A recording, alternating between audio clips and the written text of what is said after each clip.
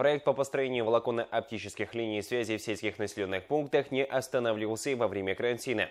В результате крупнейший оператор страны подключил к широкополосному доступу 81 село Западно-Казахстанской области, увеличив количество пользователей сети почти в треть.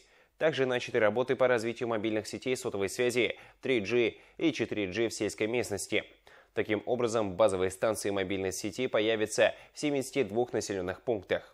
В Западно-Казахстанской области полностью реализованы два этапа проекта обеспечения широкополосным доступом сельских населенных пунктов Республики Казахстан. Раньше многие районы региона были подключены к магистральным узлам телекоммуникации, которые имели малую пропускную способность. Это создавало серьезные трудности для обеспечения качественной связи в госучреждениях районных центров и сельского населения. Особенно ощутимо сказалось в период карантина, когда школы были вынуждены перейти на онлайн-обучение. Сейчас со строительством ВОЛС данная программа решается активными темпами. Например, в Касталском районе на сегодняшний день к высокоскоростному интернету подключены 11 сельских населенных пунктов.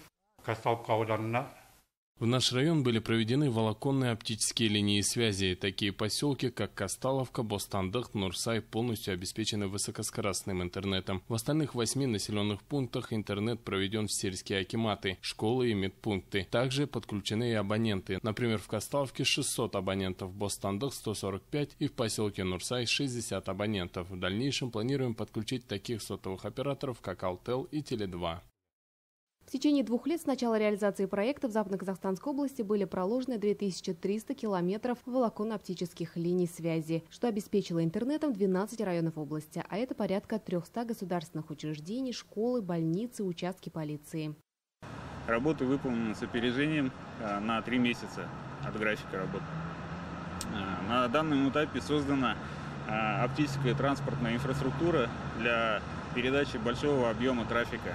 Это включая крупные райцентры, это Сайхин, Женебек, Касталовка, а, Сырым, Джампита да, и Карутюба.